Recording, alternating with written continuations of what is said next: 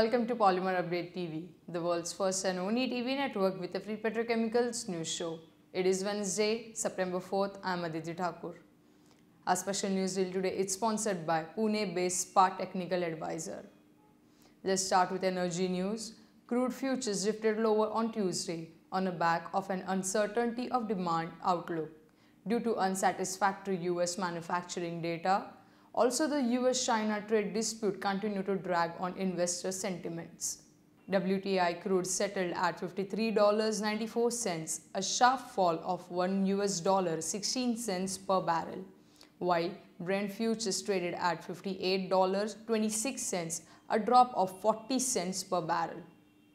According to Vandana Hari of Vanda Insights, crude futures were inched up early Wednesday in Asia amid some bargain hunting following three straight days of losses and a lift from robust China services sector data for August. Open spec naphtha prices edged higher by 1 US dollars per metric ton to the 456 US dollars per metric ton CFR Far East Asia levels. Moving on to the Asian market update for PP, PE and PVC. In PP, this week, PP prices drifted lower in the Far East and Southeast Asian regions. Prices fell as demand trends continue to remain sluggish in major markets like China, owing to the ongoing trade tensions with the USA.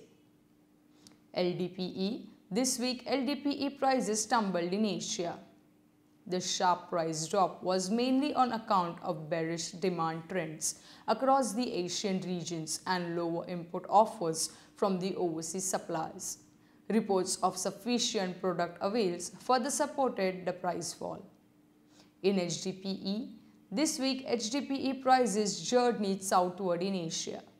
The price fall was triggered by ample regional product availability lower import offers from the overseas producers and persistent sluggish buying sentiments in the region. For detailed price assessment of PP, PE and PVC, we invite you to subscribe to Polymer Update. Our weekly benchmark price assessment and analysis are available on our website for all our subscribers to benefit from.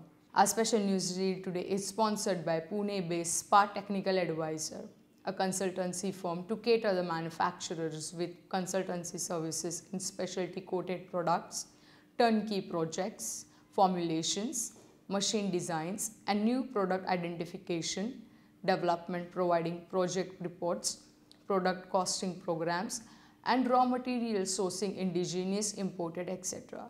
That's all for today's Polymer News. Watch our daily news video tomorrow to know more. It is Wednesday, September 4th. I am Aditi Thakur. Thank you. Find us on Facebook at facebook.com slash polymerupdate and be sure to click the like button. You can also find us on Twitter at polymerupdate. For the latest news from the plastics and petrochemicals industry, subscribe to our YouTube channel and do not forget to hit the bell icon.